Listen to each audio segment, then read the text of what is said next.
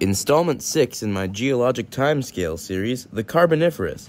The Carboniferous period lasted 359 to 299 million years ago. It's often divided into two smaller periods, the Mississippian, which lasted 359 to 323 million years ago, and the Pennsylvanian, which lasted 323 to 299 million years ago. In the ocean during the Carboniferous period, sharks became the dominant marine group, and they started becoming more common in freshwater as well.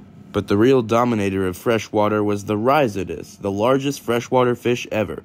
It grew up to 23 feet or 7 meters long, and that just belongs in a River Monsters episode.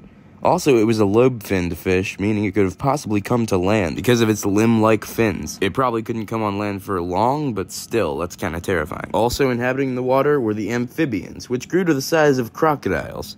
The amphibians were also pretty dominant on land, alongside giant griffin flies, which are relatives of dragonflies, called Meganeura, which had wingspans of 2.5 feet or a little below a meter. Along with that, there was also Arthropleura, the millipede that grew up to 9 feet or 2.7 meters long, and Pulmonoscorpius, the scorpion that grew up to 70 centimeters or 28 inches long. Early reptiles like Hylonomus and Petrolacosaurus developed as well, and reptiles kept evolving and growing throughout this period. The climate was generally warm and humid, with oxygen levels being very high at 35%, as opposed to the 21% we have today.